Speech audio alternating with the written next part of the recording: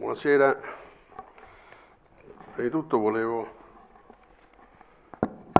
dire che questo documentario che abbiamo visto è molto bello, restituisce proprio la, la pienezza del pensiero di, di Perilli in un modo sintetico ma straordinariamente efficace. Anche le immagini sono montate con una progressione storica molto chiara, quindi sono contento di averlo visto. No, volevo dire semplicemente che io ho conosciuto Achille Perilli nel 1964 quando Maurizio Sagripanti stava affrontando uno dei suoi, stava diciamo, facendo uno dei suoi progetti storici, il progetto per il teatro di Cagliari,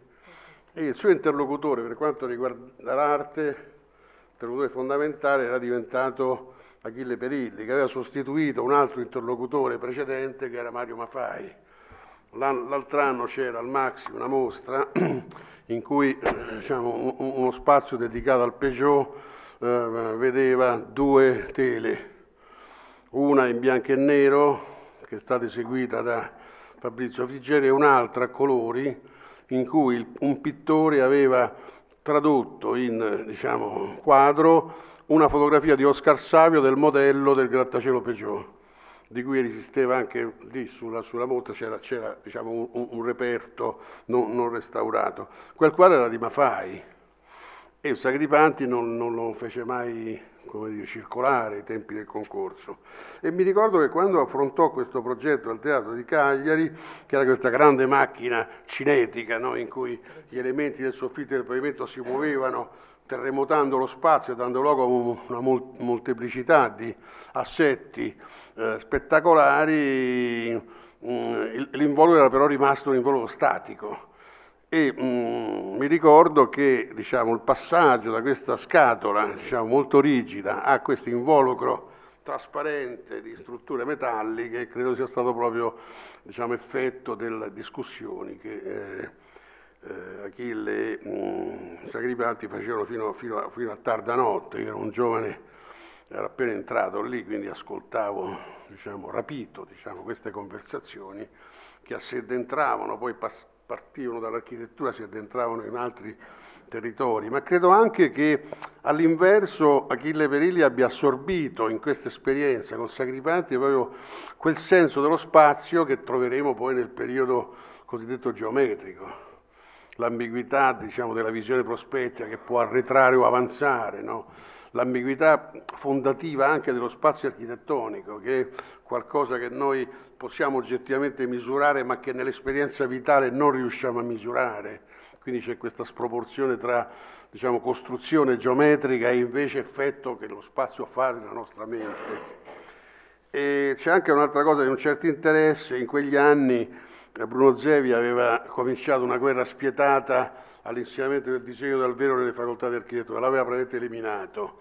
e al suo posto ci fu questa invenzione dei corsi di visual design e Sagripanti pensò di affidare a Achille Perilli e Gastone Novelli lo spazio interno al suo corso dedicato a questo insegnamento.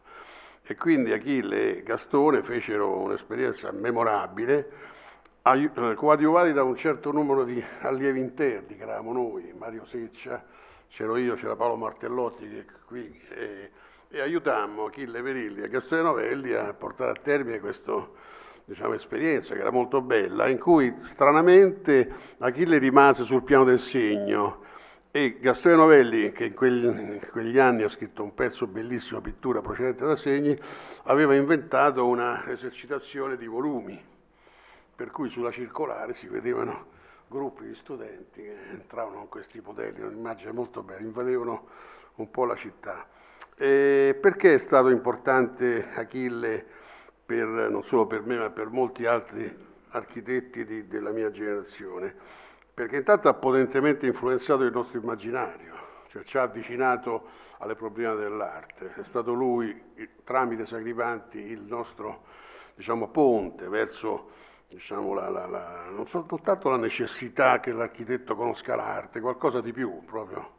il concepire l'architettura come una forma d'arte. Io lo debbo a Sagripanti e in gran parte ad Achille. Poi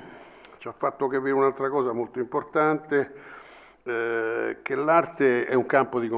conflittualità.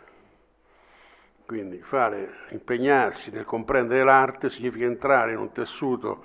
infinito, labirintico, si è già detto, di, di contraddizioni, di conflitti che non hanno mai soluzione. Si tratterebbe di spostare in avanti o indietro diciamo, il, il, il livello della discussione e dell'impegno anche. E mi ricordo, per esempio, sarebbe bello se avessimo tempo eh, misurare la posizione di eh, Achille Perilli, per cui l'avanguardia è una specie di, di, di forma simbolica dell'arte nel Novecento, cosa che non è così condivisa da tutti.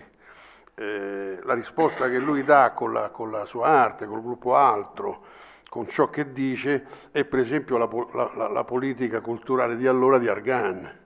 che invece si muoveva verso un fronte diciamo, più rigidamente progettuale in cui promuoveva tutte quelle espressioni che avessero, diciamo, eh, che quantificassero in qualche modo la, la, la, diciamo, il tipo di impegno in vista di una socialità sociologica,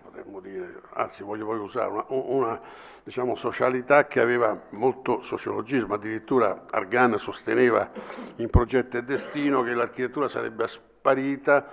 assorbita dall'urbanistica, quindi era la morte dell'architettura. Così anche l'arte in fondo finiva per, per estinguersi nei meccanismi del, de, dell'arte cinese, dell'arte programmatica, dell'arte come progetto. Io ho ammirato in quegli anni anche la, la capacità di Achille invece di rivendicare sempre il primato dell'immaginazione, no? del rischio, cioè l'arte come in fondo. C'è un tema, sì, ma tu quel tema ogni volta lo metti in discussione fino in fondo e, e produce infiniti varianti che sono sempre portare al limite un discorso in cui non, non riesci a, a, distaccarti dalla tua vita, Questo, quindi la ricerca della forma ma anche una sorta di vitalismo eh, come dire, straordinario, potentissimo che, che, che, traspare anche molto evidentemente dal, dal ciò che abbiamo visto nel documentario. E un altro ultimo aspetto che ci ha insegnato un problema anzi che, che del, del, dell'arte, non, non, solo contemporanea, moderna e contemporanea, ma ad il, il contrasto fra talento e idea, cioè fino a che punto il talento conta, fino a che punto il talento ove esista va disciplinato e anche distrutto e sostituito da una costruzione diciamo, più premeditata, no? che, abbia, che, abbia, dentro una volontà di, di, di espressione che, che considera l'idea ciò che trasforma la realtà e non viceversa, cioè noi le idee non le assumiamo da ciò che succede nella realtà, ma sono le idee che fanno succedere, le, che, che, che, producono le trasformazioni. Quindi, ma come si costruiscono le idee? Come si costruiscono le idee in rapporto al talento? E tutta la pittura di, di Achille oscilla fra queste polarità. Ad esempio, nel periodo geometrico nasce in lui, prima non c'era, una straordinaria vocazione coloristica, cioè il mondo del colore di Achille è veramente straordinario, perché c'è una diciamo, scelta timbrica con delle punte di dissonanza, di acidità, ma anche ogni tanto di, diciamo, il perdersi dei colori in una sorta di notte dove i neri confluiscono con, con, con, i viola scuri e cioè con delle vibrazioni acide a un certo punto. È un colorista fantastico che ovviamente va contro questa essenza, non chiamiamola geometria, ma diciamo costruttiva della forma che è qualcosa di diverso, quindi c'è una contraddizione vivente che anima tutta la sua produzione fino all'ultima eh, cosa. E, ehm, l'ultima notazione, quando lui parla di negazione dello spazio prospettico, non, non può non venire in mente la tridimensionalità antiprospettica di, di Bruno Zevi, cioè negli stessi anni in cui Achille diciamo, teorizza quella sua uh, spazialità, Bruno Zevi scrive nelle, invarianti, nelle sette invarianti del linguaggio moderno proprio qualcosa che riguarda la negazione della prospettiva. In qualche modo questa eredità dell'avanguardia si configura in una sorta di eh, vocazione violenta alla distruzione dello spazio, ma la distruzione dello spazio implica anche la distruzione del tempo, quindi queste opere tendono a collocarsi in una dimensione non spaziale, no, non temporale, come grandi totem, come dire, dietro il cui colore straordinario c'è però un, una minaccia. Ecco, io vedo queste,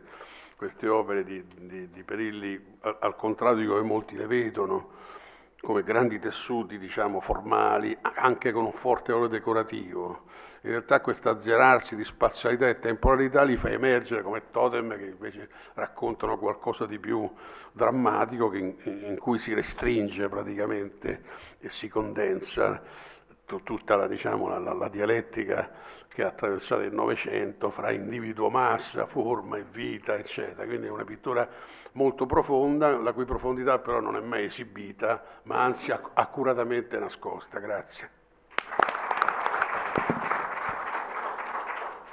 Eh, se c'è Nagia Perilli, se vuol chiudere la serata, ricordo anche la bellezza di questi cantucci poetici riservati a un Achille Perilli che parla ormai, ha preso quasi il tono eh, di Ungaretti quando faceva le proprie comparse questo, nelle puntate dell'Odissea e aveva la stessa voce roca, eccetera. Eh, questo mi è piaciuto moltissimo. Nagia. Allora io dico solo due parole perché non dovevo intervenire in realtà. Comunque ringrazio tutti e mh, concludo come ho concluso sul documentario, cioè le opere di mio padre andranno sicuramente su Marte. Grazie a tutti. Grazie, grazie a tutti voi che siete intervenuti, grazie a tutti gli ospiti straordinari, al nostro Presidente, all'ex Presidente,